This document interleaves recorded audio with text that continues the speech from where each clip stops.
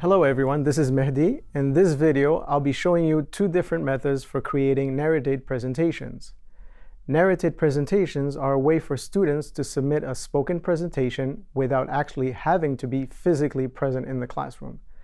They also allow students to plan exactly what they're going to say before presenting because they can read from a script as they record their narration.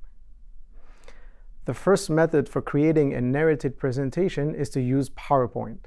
PowerPoint is a commonly used Microsoft product that allows you to create your own slideshows.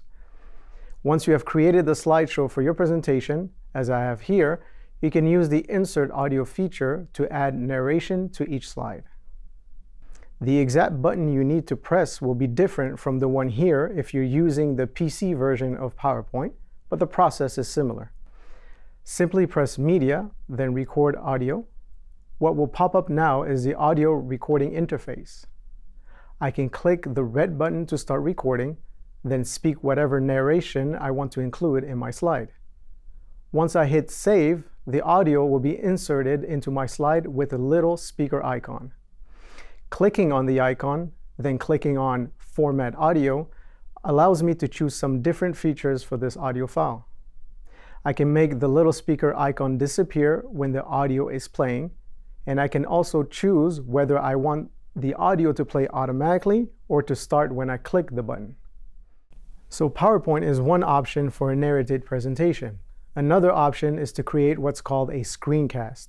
The video that you're watching right now is what would be called a screencast, since I'm showing you what's on my screen as I deliver narration.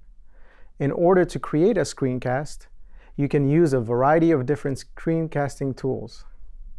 There are free products that you can find on the web, or there are more complex tools like Camtasia that you need to purchase in order to use.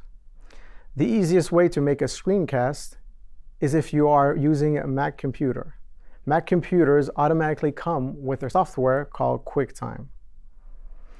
After opening QuickTime, you simply choose New Screen Recording and follow the instructions on screen. Once you finish narrating over the images on your computer screen, simply hit the stop button and QuickTime creates a video for you. These two options, PowerPoint and QuickTime, are both really simple tools you can use to create a narrated presentation. I encourage you to give them a try.